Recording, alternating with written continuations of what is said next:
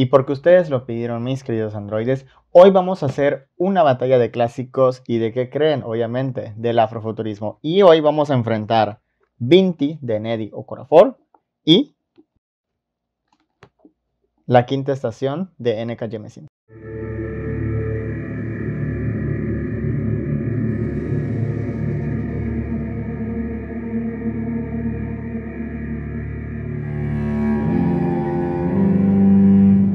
Queridos androides, mi nombre es Yaril Khan de Boy Meets Books. Espero se lo estén pasando súper bien. Yo me siento de lo mejor y sean bienvenidos a este nuevo video. Hoy vamos a hacer la batalla de estas dos novelas afrofuturistas, La Quinta Estación de N.K. Jemisin y Neddy Okorafor. Dos escritoras que han ganado el premio Hugo y Nebula. Neddy Okorafor en este caso lo ganó con este libro llamado 20 y N.K. Jemisin con La Quinta Estación. Justamente vamos a repasar temas importantes para que una novela de ciencia ficción sea interesante, sea buena y que eso también ayude a decidir cuál de estos es mejor.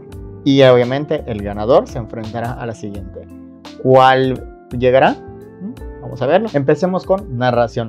Como ustedes saben, la narración es muy importante en la literatura y también en la ciencia ficción, exactamente.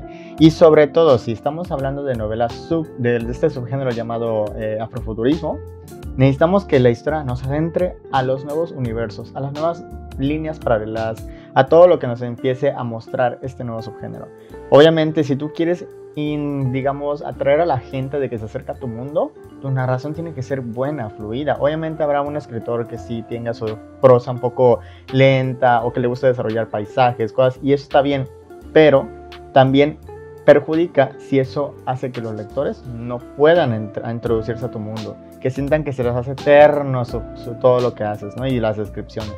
Entonces, lo que pasa aquí con Vinti de Nerio Corafor es que cada descripción que hace es un poco uh, lenta. Cada descripción perjudica un poco para que tú te puedas introducir a este mundo. Claro, una vez que tú te adentras y, ves y oyes y lees todo lo que aquí introdujo Nedio Corafor en Vinti, vas a sentir que su universo es rico.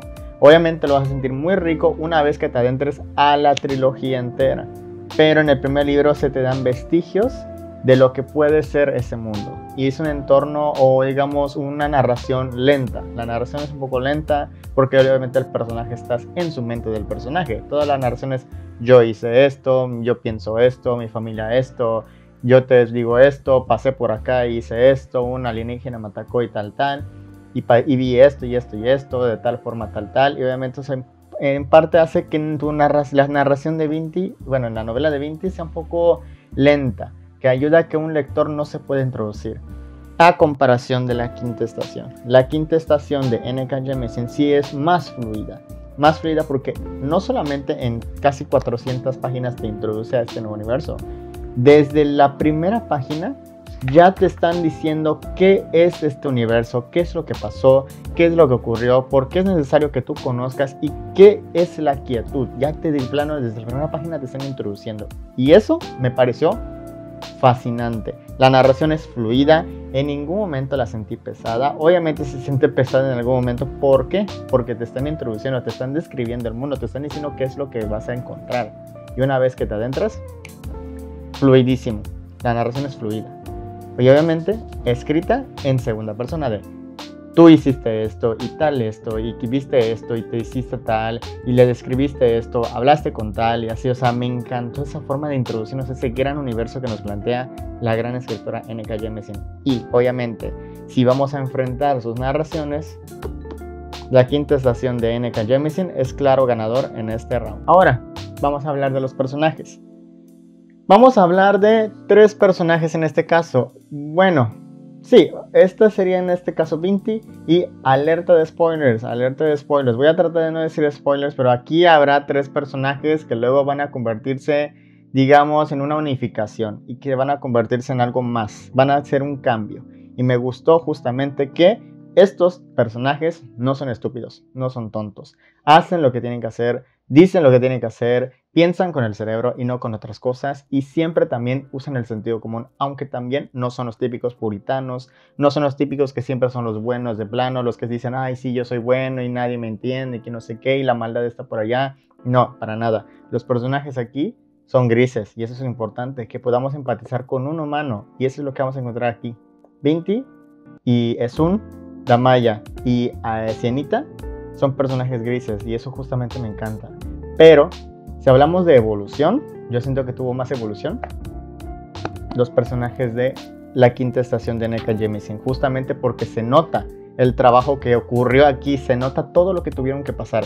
En cambio, Vinti solamente pasó por un momento traumático, un momento que superó así de rápido y que también hizo algo diferente para superar esta adversidad y también para ayudar un poco a la comunidad y quitar esos estereotipos de una raza alienígena.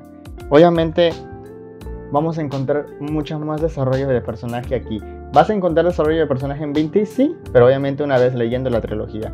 Pero mientras tanto, aquí, con solamente un libro y con estos personajes, vas a encontrar un buen desarrollo de personaje y te va a encantar. Ahora vamos con entornos. Empecemos primero con Vinti. Como dije anteriormente, el universo de Vinti es descrito plenamente, no muy poco, no mucho.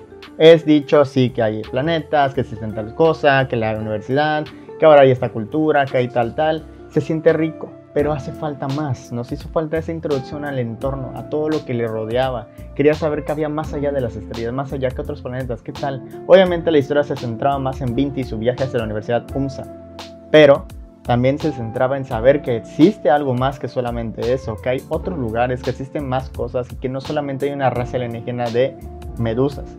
Hay algo más que quería saber aquí, pero no se sintió tan rico. Y obviamente, la quinta estación de MK Jameson al contrario de Vinti, lo que hace es describirnos un universo completamente rico con unos feudos bien construidos, personajes, clases, o sea, todo.